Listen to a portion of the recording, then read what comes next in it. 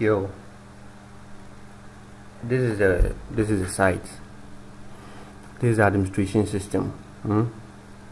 so to log into the administration system example this is a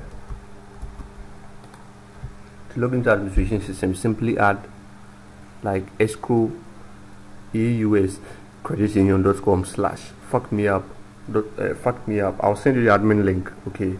So when you go there first you register you register here. When you register then you log in. But I'll, I'll, I'll approve you before you log in. It's like a security layer in. So I'm going to log in. So now when I log in okay this is the bank. This is our admin system so now when I go to register users okay this is where you register yourself. So the account name the name that you want to appear on the account the email and then the password the account number the account balance after you register it will say successfully. Now when you go to registered users hmm, you can see the details here. This is yours. Okay this is the one I registered. This one are dummy they are dummy data. They are all dummy information there.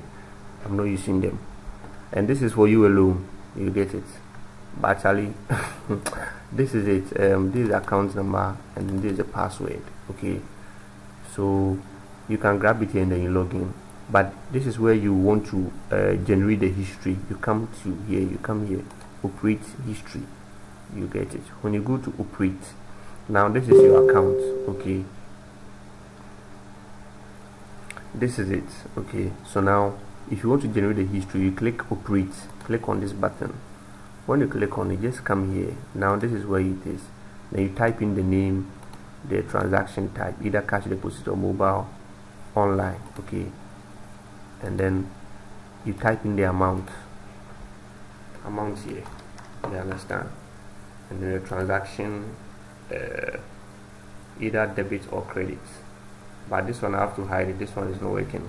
I don't use the deposit. It's only debit and credit okay? Then by here you can select this online transaction or mobile. Then you select the date the date that you want to. So you can start the date how you want it. It's simple as that.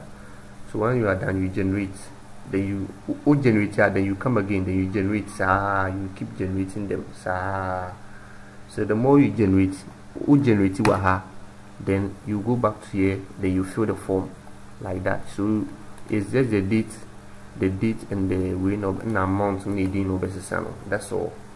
So the more you do then you log in. You just log in to see to make sure say it's coming. You, you understand? Yeah. It's just like that. So i'll send you the admin link that's it good luck